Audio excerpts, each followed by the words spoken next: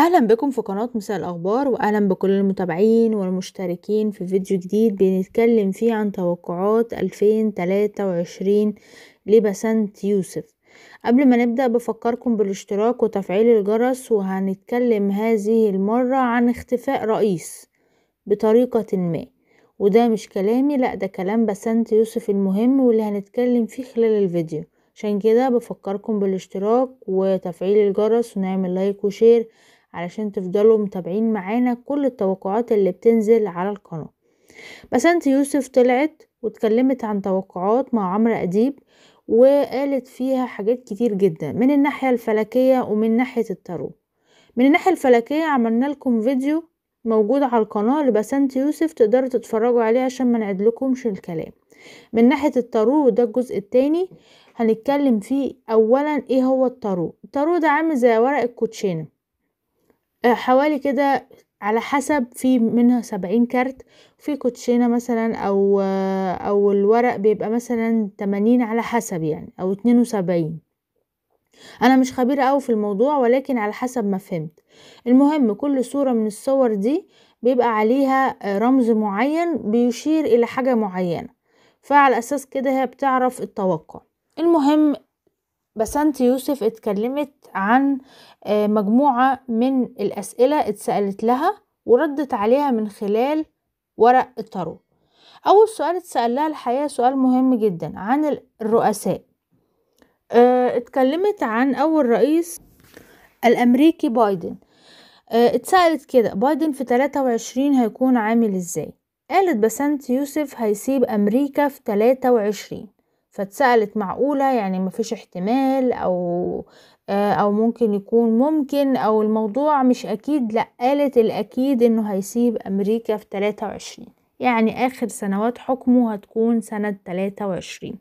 في مرحلة ما في ألفين تلاتة وعشرين بايدن مش هيكون موجود في أمريكا. الله أعلم ممكن يكون بسبب حاجة صحية أو مطلب سياسي أو مطلب شعبي أو مثلا انقلاب في أمريكا. وعللت الموضوع من الناحية الفلكية بأن الزاوية اللي موجود فيها أمريكا حاليا دي زاوية تغيير الشعوب. تغيير الشعوب. قالت كده دخول برج أورانوس كوكب أورانوس لبرج الدلو. ده معناه تغيير الشعوب.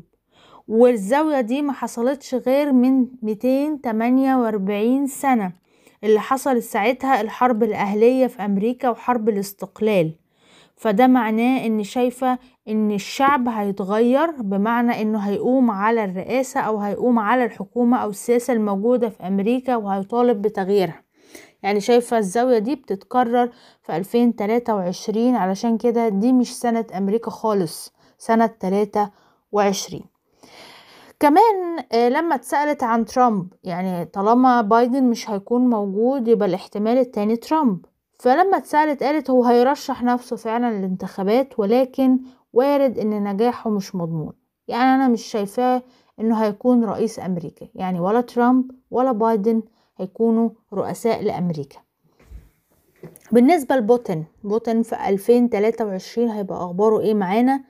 قالت هو قاعد قاعد ومأمن نفسه محدش عارف عنه حاجة وحظه هيتغير للأحسن بالرغم إن الانتصارات إلى جانبه ولكن في 2023 الحظ بتاعه هيبقى أفضل وأحسن. كأنه في احتفاء ببوتين هيعمل حاجة هيخلي فيه احتفاء باسمه.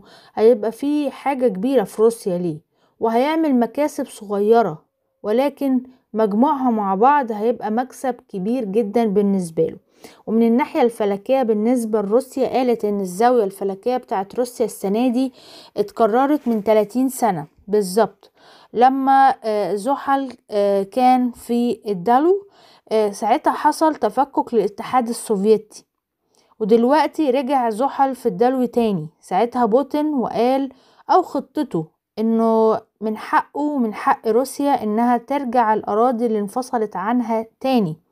وبوتين مش هيسكت غير لما يرجع الاتحاد السوفيتي حتى لو حتة حتة.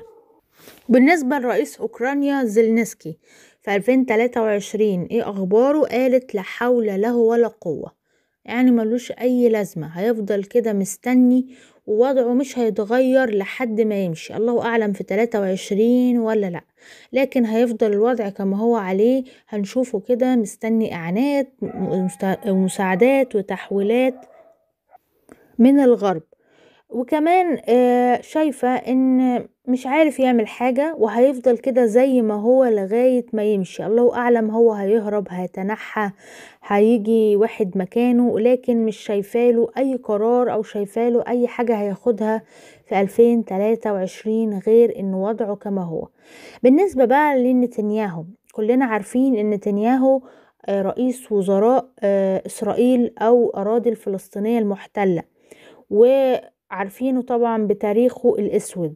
هيكون عبارة عن إيه في 23 أو إيه؟ آه ورقة طارو بيتكلم عن إيه؟ قالت وضعه مرتاح وضعه مرتاح ومستقر في مكانه ولكن قراراته هتكون عنيفة جدا.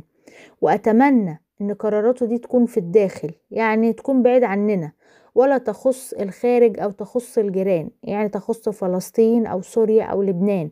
وهيكون ليه تصرفات عنيفة وهدامة وهيبقى جريء جدا. على غير العادة في اتخاذ تلك القرارات. يعني مش همه هيعمل كل حاجة غلط ومش هيبقى همه.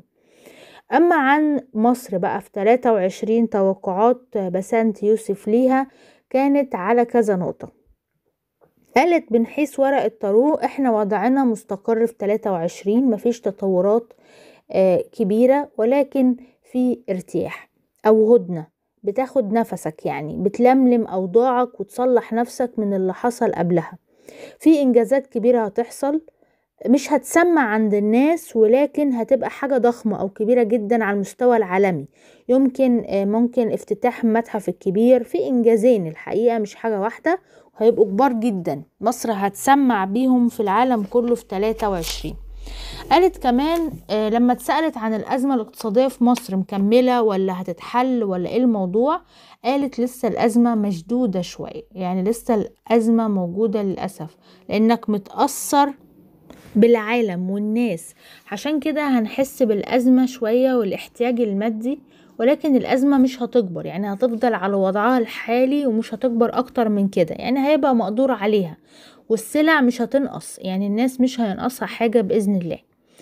أما لما اتسألت عن الجنيه في مصر في 23 هيكون أحواله إيه؟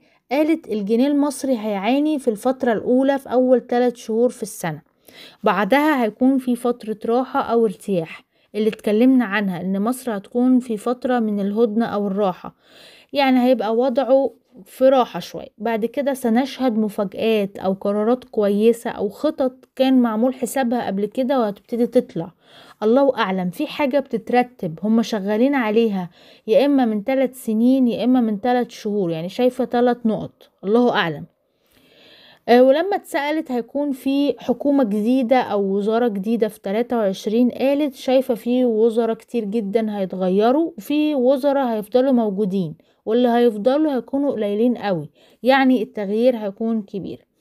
أما لما اتسألت على مين هياخد الدوري الزمالك ولا الأهلي في 23 قالت الورق محير جدا شايفة مكاسب للاتنين وفرص الزمالك هتكون أكبر والأهلي هيكون برضو محتفل. يعني قالت ممكن واحد فيهم ياخد الدوري والتاني ياخد الكاس حاجة زي كده يعني. لكن شايفة إن الزمالك فرصته أكبر لإن هياخد ال ال مثلا اللقب ده براحة. أما الأهلي شايفاه في جهد بيبذل جهد كبير عشان ياخد لقب أو ياخد هذا الكاس. ولما اتسألت عن شيرين وحسام حبيب في 2023 لإن ده كان ترند في مصر والدول العربية عامة موضوعهم قالت هم وضعهم مستقر على ما هو عليه. حتى لو في حاجة مش هتتقال أو يتم الإعلان عنها. من الآخر كده شايفة حالة من الصمت. هيكون في حالة من الصمت. وقالت كمان في جرح. في جرح يعني هيكون في جرح وفي نفس الوقت صمت. مش هتقدر تتكلم عنه أو يقدروا هما الاتنين يتكلموا عنه. بالنسبة لمحمد صلاح في 2023 قالت إن وضعه مستقر جدا وفي إنجاز كبير جدا هيعمله بس يحذر من أي إصابة. وعنده تقدم واضح جدا في 23 وبعد 23 كمان. أما عن السؤال اللي كل الناس بتسأله هل كريستيانو رونالدو هيروح السعودية ولا لأ؟ قالت وارد جدا إنه يحصل رغم إنه لسه كلام في الورق يعني لسه مفيش حاجة أكيدة. ولو ما حصلش الاتفاق السنة دي ممكن السنة الجاية الله أعلم. والكلام هيبان أكتر في النص التاني من 23 أو أواخر 23 آه إذا ممكن يكون في انسحاب أو ممكن يكون في إنه فعلا يمضي. الوضع الحقيقة مش واضح جدا لكن شايفة كلام.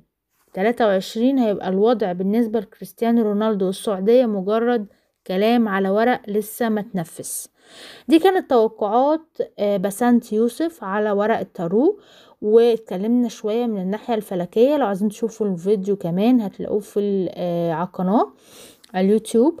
آه كمان آه خدوا بالكم إن في كمان كلام اتكلمت فيه عن الأبراج. لو حابين إن إحنا نعرضه لحضراتكم اكتبوا لنا تحت في التعليقات. آه ودي كانت توقعاتها اللي اتقالت كلها بشكل مختصر وبشكل مهم جدا علشان الناس اللي ما بتحبش الكلام الكتير. عشان كده بقول لكم كل سنة وأنتم طيبين. بفكركم آه كمان بالاشتراك وتفعيل الجرس عشان تفضلوا معانا مكملين آه سنة جديدة بإذن الله. وياريت تفعلوا الجرس عشان توصل لكم الإشعارات. ولو عجبكم الفيديو أو المحتوى ما تبخلوش علينا باللايك والشير وكل سنة وحضراتكم طيبين سنة سعيدة على كل الدول العربية وعلى كل الجاليات وعلى كل الناس في العالم. شكرا أشوفكم بخير. كان معكم أختكم مريم.